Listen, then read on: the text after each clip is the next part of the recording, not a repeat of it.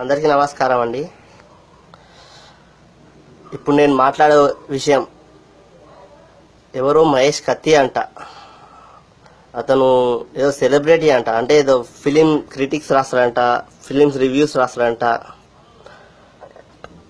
అతను రెండు మూడు రోజుల నుంచి సోషల్ మీడియాలో హల్చల్ చేస్తుంది అతని పేరు. అంటే అతను ఇంతవరకు ఎవరు తెలీదు. ఫేస్బుక్ ఓపెన్ చేసినా యూట్యూబ్ ఓపెన్ చేసినా ఏది ఓపెన్ చేసినా సోషల్ మీడియాలో మహేష్ కత్తి కనబడుతుండు. ఎవరా మహేష్ కత్తి తెలుసుకుందామని నేను వెతికితే ఏదో ఫోటో వచ్చింది. అతన్ని నేను ఇంతవరకు చూడలేదండి. అతను ఎవరో కూడా నాకు తెలీదు. తర్వాత వెతకంగా వెతకంగా ఫిల్మ్ రివ్యూస్ రాస్తాడంట క్రిటిక్ అంట ఫిల్మ్ క్రిటిక్ అతను. తర్వాత ఏదో బిగ్ బాస్ షో చేశాడంట. Big boss show big boss show చేసే వాళ్ళందరూ సెలబ్రిటీలు అండి వాళ్ళు. ఒక ఎన్టీఆర్ తప్ప అందులో ఉన్నోళ్ళు ఎవరన్నా ఒక సెలబ్రిటీయా? వాళ్ళు వాళ్ళ మొహాలు కాకున్నాయి. వాళ్ళు సెలబ్రిటీలా అండి?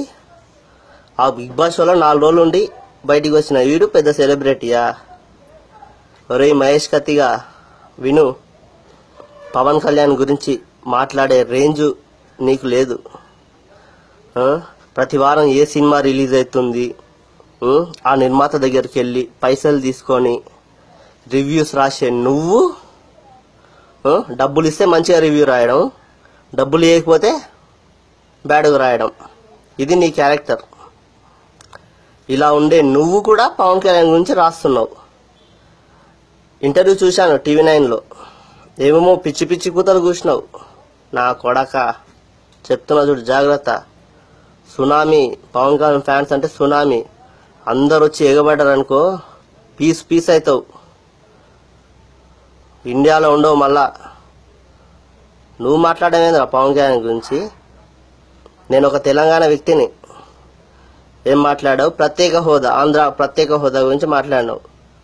పవన్ కళ్యాణ్ రాలేదని నేను సొంత ఫ్లైట్ వేసుకొని వెళ్ళాను. నీకు సొంత ఫ్లైట్. వారం వారం సినిమా రివ్యూస్ రాసి పైసలు తీసుకొని రాసే నీకు సొంత ఫ్లైట్ నీ మొహానికి. ఇంకోటి ఏదో అన్నావు అబ్బా. పవన్ ఫ్యాన్స్ తీవ్రవాదులు. ఇంకోటి పవన్ ఫంక్షన్స్కి ఎవరు మనీ ఇస్తారా?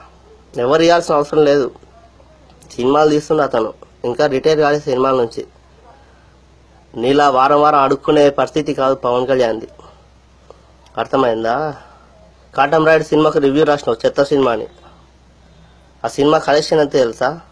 అరవై కోట్లు. నువ్వు చెత్త సినిమా అన్న పవన్ కళ్యాణ్ సినిమాకు అరవై కోట్లు వచ్చినాయి. ఇంకా ఏం చేశాడు? మూడేళ్ళు మూడేళ్ళు అయింది వచ్చి. పవన్ కళ్యాణ్ రాజకీయాల్లో ఉన్నాడా ఇప్పుడు? ఒక పార్టీ పెట్టిండు అంతే. ఒక్క కార్యకర్త అని ఉన్నాడా? అతనే నాయకుడు అతనే కార్యకర్త అన్ని తానే నడిపిస్తుండు.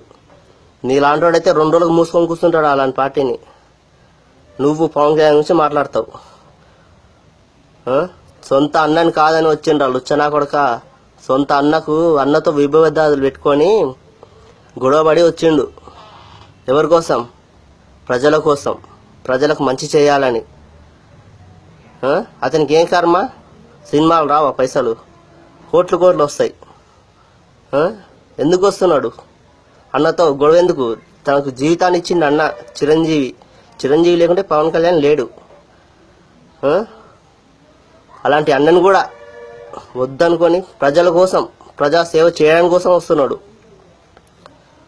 నీకు తెలిసి రాజకీయ నాయకులు లుచ్చ రాజకీయాలు చేసే రాజకీయ నాయకులు. పవన్ కళ్యాణ్ గురించి నువ్వు మాట్లాడేది. ఇంకోటి ఏదన్నా అబ్బా పవన్ కళ్యాణ్ యాక్టర్గా ఎవరు కన్ఫర్మ్ చేసిండ్రా? నువ్వు సినిమా క్రిటిక్ అంట నిన్ను ఎవరు కన్ఫర్మ్ చేసిండా ఫస్ట్? నువ్వెవడు ఇంత నీ మొహం కూడా తెలియదు ఎవరికి తెలంగాణ ఆంధ్రప్రదేశ్లో ఇప్పటివరకు? ఎవడని తెలుసా నువ్వు ఇంతకు? ఒక్కనికి తెలియదు చిన్న పిల్లకు తెలియదు కానీ చిన్న పిల్లలని కూడా చెప్తారు. పవన్ కళ్యాణ్ ఏం చేసిండని? అమరావతి భూముల దగ్గర నుంచి మొన్న ఉద్దానం కిడ్నీ సమస్య వరకు. మర్చిపోయారా? జనాలు మర్చిపోరు. మంచి చేసిన ఎప్పటికీ మర్చిపోరు. జనసేన పార్టీ పెట్టక ముందు కూడా కొన్ని లక్షల మందికి కొన్ని వందల వేల మందికి లక్షల మందికి సహాయం చేశాడండి. ఏం తెలుసు మీకు? అతను పవన్ కళ్యాణ్ ఫ్యాన్స్ అంటే ఏం తెలుసా?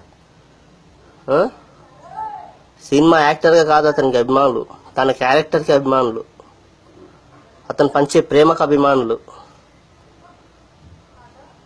నీ మొహం కూడా ఎవరిని తెలియదు నువ్వు పవన్ కళ్యాణ్ గురించి మాట్లాడతావురా? నా కొడక చెప్తున్నా ఇదే నీకు. వచ్చి పడ్డావు అనుకో మీద తుగ్గు తుగ్గు అవుతావు మాట్లాడే ముందు జాగ్రత్త మాట్లాడు. అది. నమస్కారం.